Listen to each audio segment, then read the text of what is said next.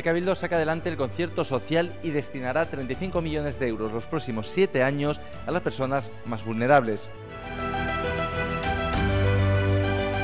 Lanzarote se queda sin agua en la jornada de ayer, a excepción de los núcleos turísticos y algunas zonas de la capital.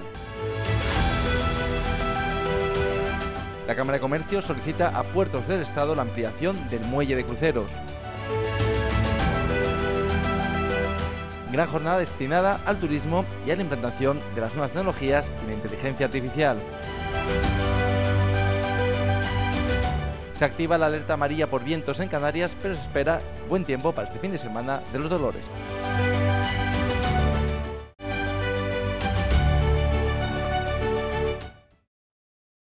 En la mañana de ayer miércoles, sobre las 8 y 20, un accidente sin heridos se produjo en la calle Circunvalación de San Bartolomé, quedando el coche así tras caer de dos metros. Cuando por la mañana, cuando te da el, el sol de frente y no ve, pues, y si desconoce la zona, pues se le fue el coche y se fue como dos metros para abajo.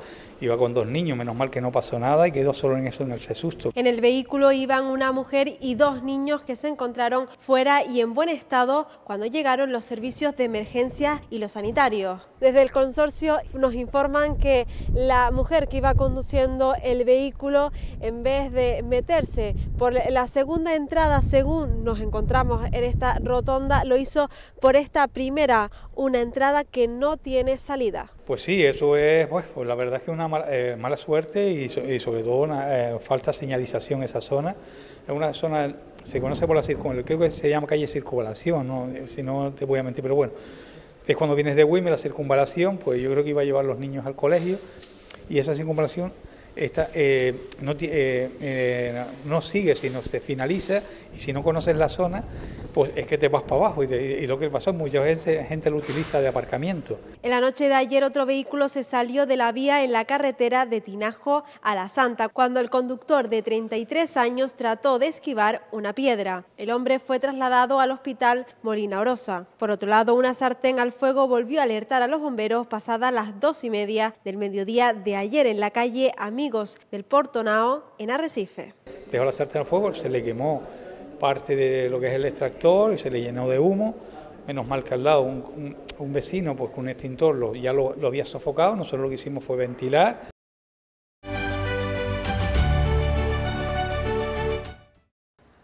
Momento de tensión el que se vivió ayer en el aeropuerto César Manrique de Lanzarote y es que la falta de efectivos policiales en el control de pasaportes propició que un vuelo de Ryanair con destino al aeropuerto irlandés de Knock dejaba en tierra a 67 pasajeros que, según testigos presenciales, se amotinaron ante el enfado de no poder regresar a su país de origen. Ayer parece que vuelve, vuelve a quedarse eh, a quedarse varios pasajeros como como un, una, bueno, un poco más de una cuarta parte, ¿no? Eh, los vuelos llevan como unos 200, unos 200 pasajeros y se quedaron más de 60 en tierra, mm, con lo cual se filtraron eh, unos 140. Se, se les hizo el control de seguridad de salida a unos 140 porque solo había un funcionario.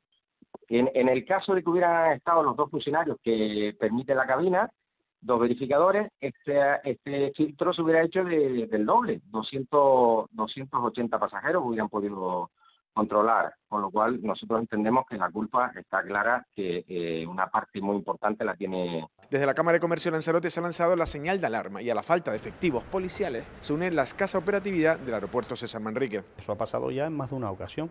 Entonces, aquí creo que el problema lo que no puede es crecer. Ya hemos tenido varios episodios y esto tenemos que buscar una fórmula, o bien dotar con dos agentes en cada puerta de embarque, que, que, que no, no, sé si los medios los tenemos eh, y, por lo que, y por los sindicatos comentan, hace falta eh, muchos medios policiales, pero es que si encima de esto le sumas que el propio aeropuerto tiene un problema operativo, pues ahí es donde empieza a chocar. Destacar que es la primera vez que ocurren incidencias en un vuelo con destino a Irlanda, que tiene una particularidad, y es que sí está en la Unión Europea, pero no entra en el denominado espacio Schengen, por lo que debe pasar por el control de aduanas.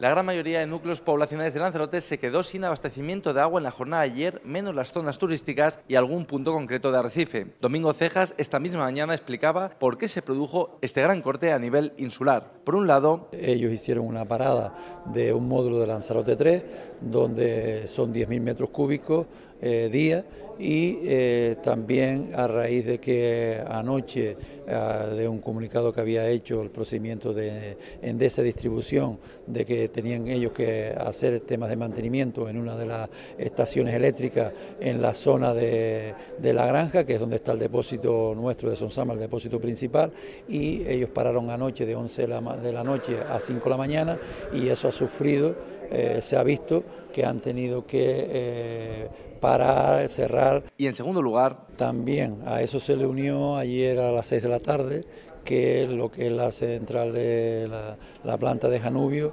sufría una parada por lo que llamamos interrumpibilidad, que parece ser que eh, de esa distribución Red Eléctrica había eh, parado por, por motivo de, seguramente de consumo, nos pararon tres horas, de 6 de la tarde a 9 de la noche. También el consejero del Cabildo del área competente explicó que mañana viernes se debería recuperar la normalidad en el servicio. Me imagino que la normalidad empezará a verse a partir de, mañana. Y añadió que no tiene nada que ver con el enfrentamiento del Cabildo de Lanzarote y el Consorcio del Agua con Canal Gestión por incumplimientos graves en el contrato. Esto no tiene nada que ver con las declaraciones que nosotros eh, hicimos, con la declaración institucional y sobre todo con la dación en cuenta de ese informe. Entiendo que bueno, ha venido motivado a raíz de los argumentos que he dicho y espero que el servicio eh, tenga que seguir o incluso pues mejorar. La realidad es que el agua de abasto y la reutilización de la misma sigue siendo el primer problema de la isla y a corto plazo todo indica que no tendrá fácil solución.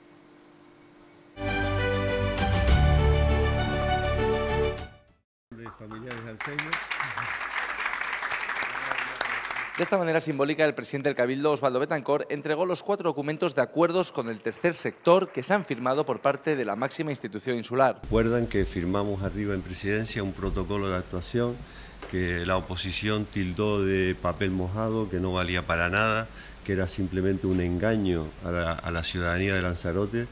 Hoy eh, estamos asistiendo a una realidad. Betancor añadió que serán 35 millones de euros los que se destinarán al cuidado de las personas dependientes y más vulnerables en los próximos siete años. El Cabildo no solo ha comprometido 35 millones de euros en los próximos siete años, sino el Cabildo ha dejado en los profesionales del tercer sector de Lanzarote la protección de las personas más vulnerables. Logrando así lo imposible lo hemos convertido en posible. Desde las diferentes asociaciones del tercer sector como Adislán, El Cribo o AFAM han expresado su gratitud con este grupo de gobierno tras una legislatura de enfrentamientos con el Partido Socialista. Pues han sido unos años bastante duros que hemos, que, hemos pasado en la, en la entidad eh, pero bueno, aquí estamos, vamos a intentar un poco olvidar el pasado y centrarnos en lo que nos espera. Empezamos ya por, por esto que tenemos ya en, en, la mano. No podemos trabajar con voluntarios porque nosotros son, es una enfermedad y necesitan técnicos y profesionales que estén con ellos. muchas veces te me han dicho eso. Una asociación debería de trabajar con voluntariado.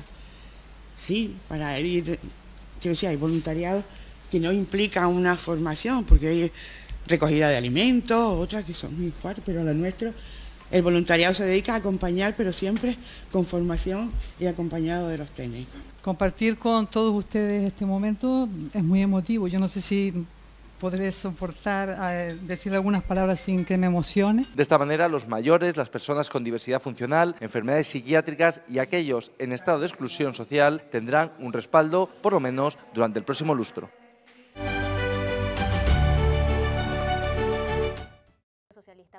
El Partido Socialista de Lanzarote tiene dudas sobre el acuerdo alcanzado por el presidente del Gobierno de Canarias, Fernando Clavijo, y el presidente del Partido Popular a nivel nacional, Alberto Núñez Feijó, en torno a la modificación del artículo 35 de la Ley de Extranjería que permitiría sacar de Canarias a casi a la mitad de los 5.500 menores inmigrantes que custodia a día de hoy el Ejecutivo Regional. La portavoz del Partido Socialista, Ariagona González, cree que Clavijo ha roto el consenso alcanzado por las fuerzas políticas de Canarias en el Pacto por la Migración. Lo que no me parece bien es que de repente se dinamite el acuerdo que alcanzó con todas las fuerzas parlamentarias en el Parlamento de Canarias, donde está recogido esa, digamos, esa... Em, esa negociación conjunta y donde se ha informado a todos los partidos y todos los partidos han estado de acuerdo y de repente Fernando Clavijo diga que ya el Parlamento de Canarias, ese que le interesaba tanto, ya de repente le dejó de interesar.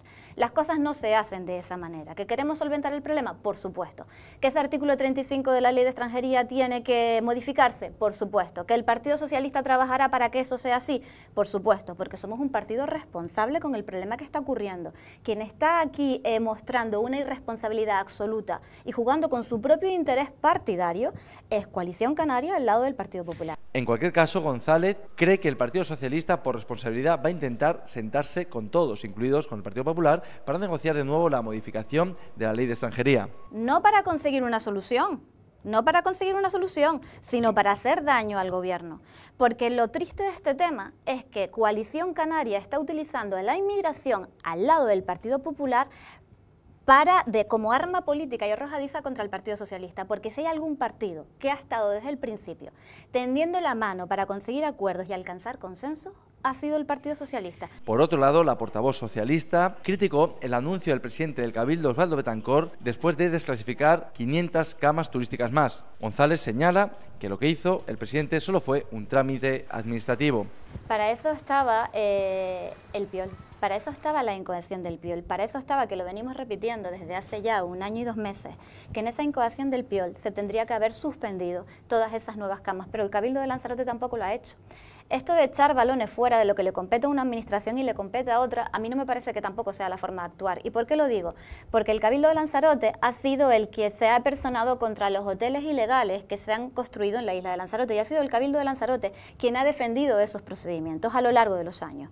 Y ahora lo que no puede es que venga el Cabildo de Lanzarote en contra de sus propios actos a lo largo de los años a concederle una licencia de actividad turística a un hotel que es ilegal. También criticó el gasto del Cabildo en las fiestas patronales de la Virgen de los Dolores, sobre todo el exceso en el concierto de Manuel Carrasco.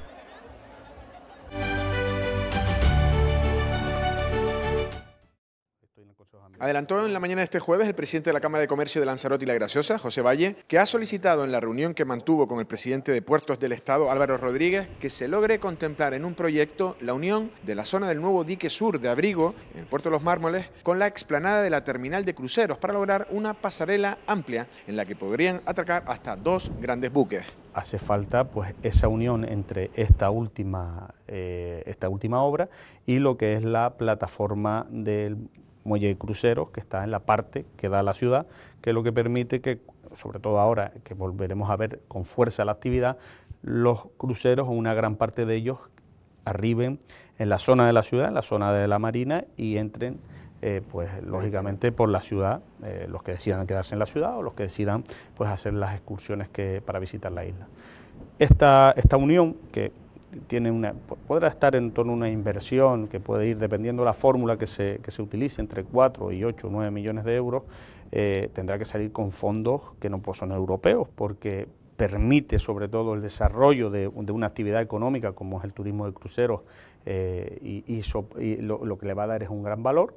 Y ahora lo que se van a hacer es pues analizar primero eh, si, si, estas dos, si sobre todo esta parte puede de alguna manera convivir, que entendemos que sí, y lo segundo es si también con otro informe si se puede operar, si, si, si realmente se puede atracar un segundo crucero en un, en, un, en, un, en un posible caso.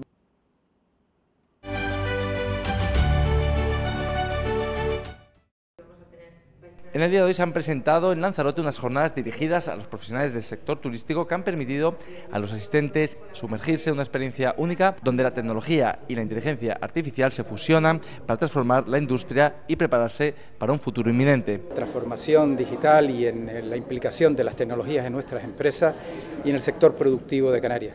Eh, por ello eh, no iba a ser menos que estar junto al tejido productivo principal de Canarias, como es el, espacio turístico. También ha estado presente en el encuentro el Instituto Tecnológico de Canarias. Aparte de ser el brazo tecnológico de la Confederación Española de Hoteles y Alojamientos Turísticos, es acercar la tecnología y ayudar a la transformación y a que el sector hotelero sea mucho más eh, competitivo. En una de las actividades que, realizamos, estamos encantados de estar en, Lanzarote y que junto con Nasolán, con el CIDE, con la Federación eh, turística de, Lanzarote eh, podamos impulsar y apoyar esta, esta labor. Hormiga considera que estas jornadas son... que son vitales para el conocimiento y la transformación de nuestro producto. El coloquio tuvo lugar en los salones del Arrecife Gran Hotel y contó con una amplia representación del sector turístico insular, que además pudo transmitir sus dudas sobre un futuro cambiante y necesario.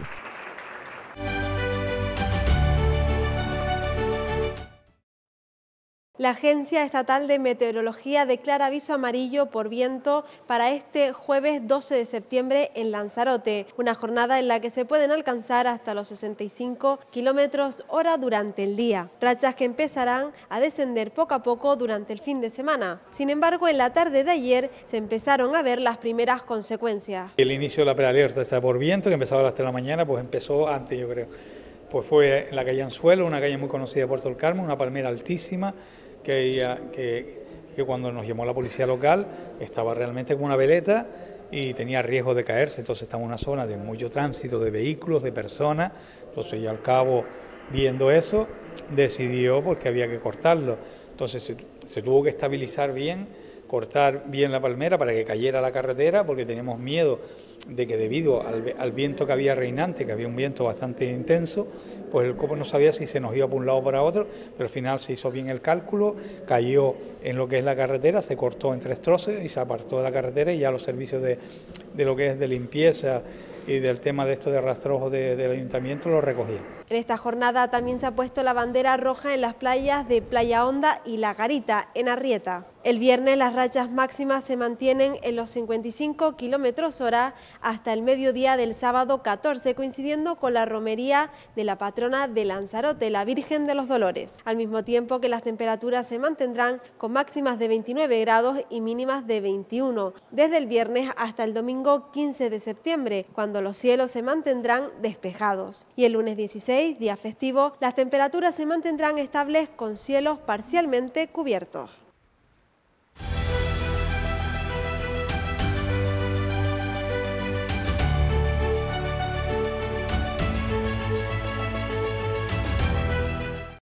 El consejero de Política Territorial del Gobierno de Canarias, Manuel Miranda, y el alcalde de La Oliva, Isaí Blanco, firmaron esta mañana el convenio que permitirá desbloquear las obras de saneamiento de El Cotillo, un proyecto paralizado desde el año 2021 por problemas administrativos en su ejecución. Pues agradecer antes que nada al Gobierno de Canarias eh, por esta ayuda. Volvemos con las obras de saneamiento y pluviales de, del pueblo del Cotillo. Eh, nos ayudan económicamente. Eh, hoy firmamos el convenio donde le cedemos el suelo y, y le ayudamos con la tramitación. Eh, a nivel saneamiento sabemos que tenemos bastantes deficiencias en la isla y gracias a, a, este tipo de pasos y colaboraciones con otras administraciones como el Gobierno, pues vamos a ir avanzando y esperemos que en poco tiempo seamos un referente en Fuerteventura. Las nuevas obras tendrán un costo de unos 3 millones de euros. Serán ejecutadas por Traxa con la dirección técnica de Gestur, actuando ambas empresas como medio propio de la Administración. Los trabajos incluyen la finalización de la red de drenaje de la localidad costera, la construcción de una nueva estación de bombeo y la ampliación de la depuradora de aguas residuales. El consejero de Política Territorial, Manuel Miranda, acompañado por el viceconsejero de Emergencias y Aguas, Marcos Lorenzo, mostró su satisfacción por la solución consensuada con el Ayuntamiento Majorero para resolver definitivamente este histórico problema de El Cotillo, que además de causar un grave daño a sus habitantes, está siendo objeto de un expediente de infracción abierto por la Comisión Europea por incumplimiento de la normativa de tratamiento de aguas residuales urbanas.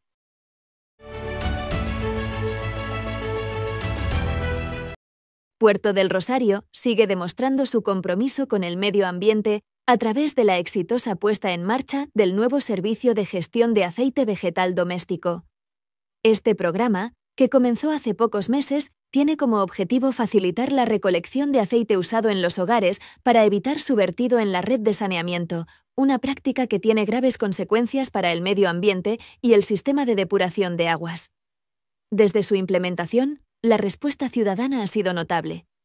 En los primeros meses de funcionamiento, ya se han recogido más de 1.200 litros de aceite en los contenedores naranjas instalados en distintos puntos del municipio.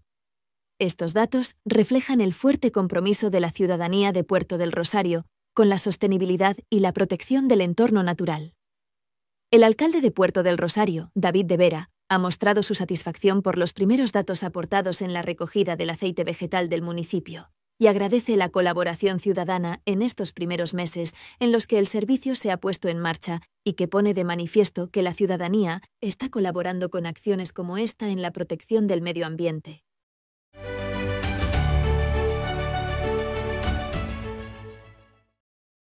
La calle opina si han disfrutado de las fiestas de verano de Lanzarote. Y disfruto de, de, las fiestas populares, sí. incluso las de Gisán Ginés, algún concierto he ido también. Sí, me gusta disfrutar, pero bueno, la verdad que cada vez menos. O sea, intento disfrutar más con la familia y, y el ámbito familiar y cada vez me gusta menos el tema de las fiestas. No, de nada, no me he movido, no me he movido a ninguna de las fiestas que se desde hace con este sería el segundo año que no me gozo ni una fiesta de las islas. Por enfermedad y por otras cuestiones que no me ha sido posible. Y aparte, que tampoco me llama la atención, no es una cosa que eh, yo vea bien. No lo veo bien para nada. Sí, la verdad, como ahora el verano me estoy tomando para descansar, pues he intentado disfrutar dentro de lo que cabe de las fiestas que hayan podido haber, sobre todo por las noches.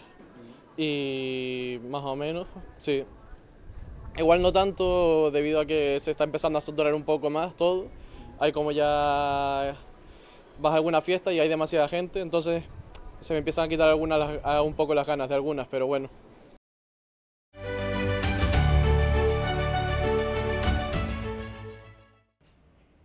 Después de visitar el restaurante Blue 17 del Arrecife Gran Hotel en la planta 17, su director David Ayala nos espera en la planta 2. Me encuentro hoy en la segunda planta del Arrecife Gran Hotel y Spa para conocer otro de sus espacios gastronómicos, el bar piscina llamado La Buena Vida, donde nos espera su director. Acompáñenme.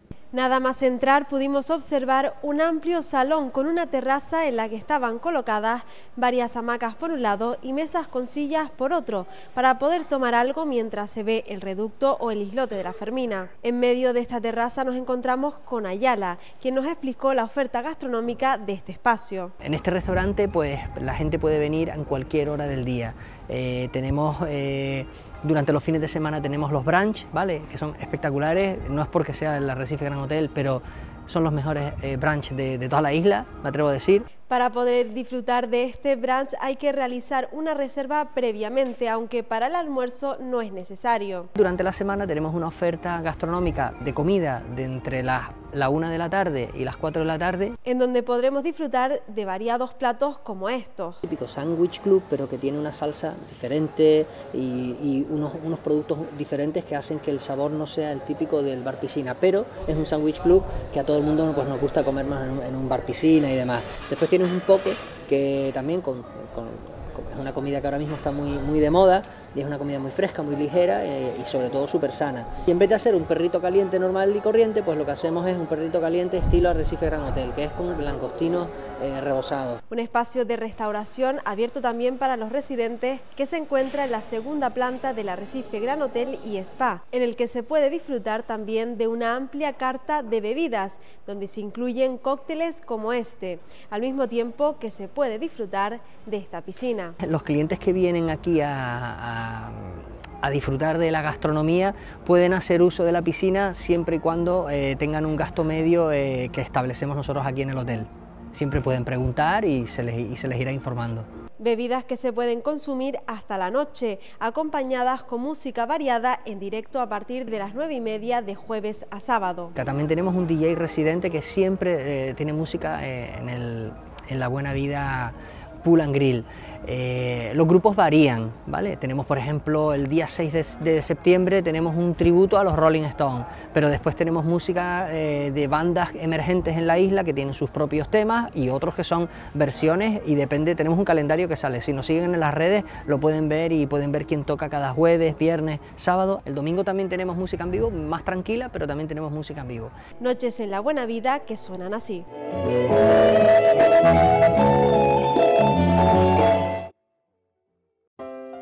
Patrocina este espacio Concejalía de Cultura de Recife.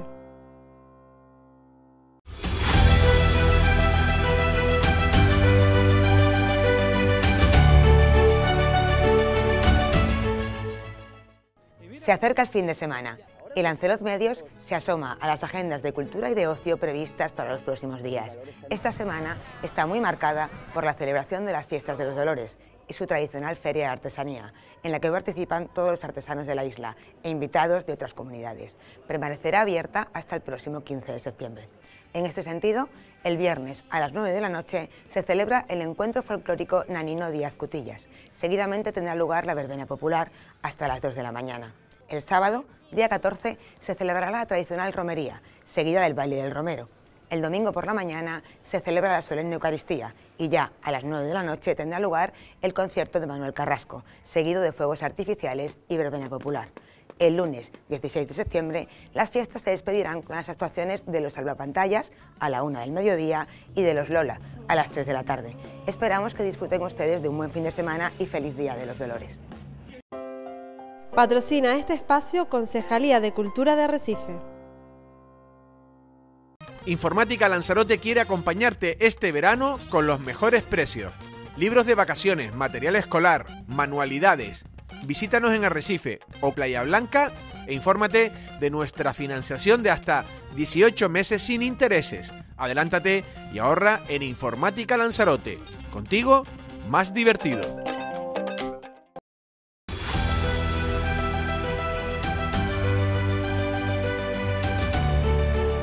Este viernes 13 de septiembre, cielos despejados. Las temperaturas se mantendrán con máximas de 28 grados y mínimas de 21. El viento soplará del norte medio, con ráfagas máximas que podrían alcanzar los 35 km por hora durante las horas centrales del día. En el mar, componente principalmente del norte, fuerza 1 o 2, marejadilla o marejada. La pleamar será a las 10.30 y a las 23.22 y la bajamar a las 4.12 y a las 17.07.